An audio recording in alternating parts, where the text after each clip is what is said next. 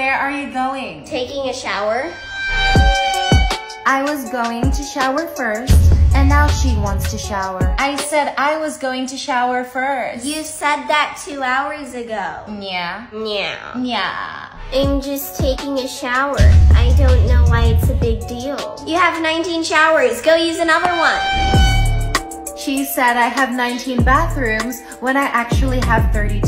Well, 32, then why can I use another shower then? It's not about the number of showers, it's about the environment. I don't want us showering at the same time.